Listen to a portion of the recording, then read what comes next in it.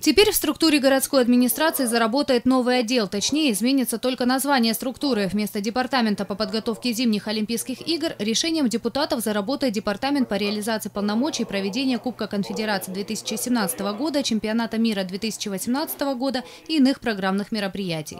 Представить необходимые площадки и выполнить все обязательства о Сочи должен уже через два года.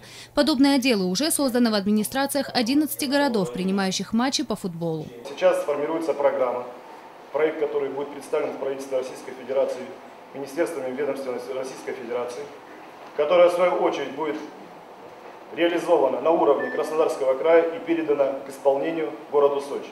Так вот, этот департамент будет органом, который будет обеспечивать непосредственно выполнение этих мероприятий, а также обеспечивать участие города Сочи в привлечении массовых мероприятий в город Сочи, развитие города Сочи и обеспечение его имиджевого характера. Над эффективным использованием олимпийского наследия и проведением массовых мероприятий будет работать то же количество сотрудников, что и в Олимпийском департаменте. Но здесь важно учитывать стопроцентную занятость персонала, отметили народные избранники. Иначе штат в 23 единицы может быть в итоге сокращен. Если будем видеть, что более с меньшим количеством сотрудников мы будем обходиться, будем сокращать. Мы не знаем, как это будет. Сейчас посмотрим, сколько этих мероприятий будет будем стараться в этом году набрать.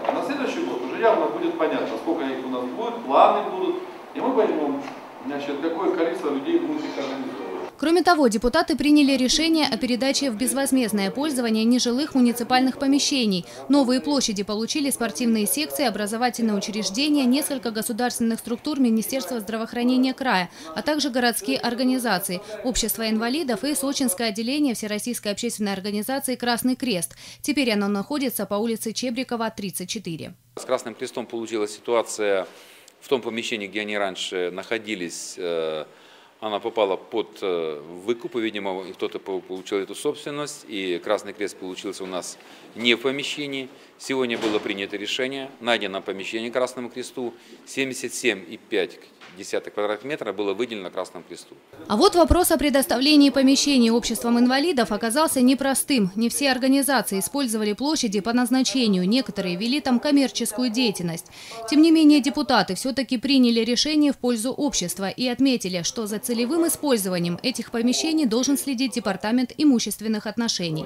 Что касается бюджетной составляющей, то средства, которые получены муниципалитетом в этом году, и те, что остались неосвоенными за прошлый, будут распределены на необходимые для курорта цели, в частности, на переселение людей из ветхого аварийного жилья. Кроме того, народные избранники подтвердили выделение краевой субсидии в размере 35 миллионов рублей на содержание части дорожных объектов курорта. Татьяна Нагорская, Николай Тихонов, телекомпания «ФКТ».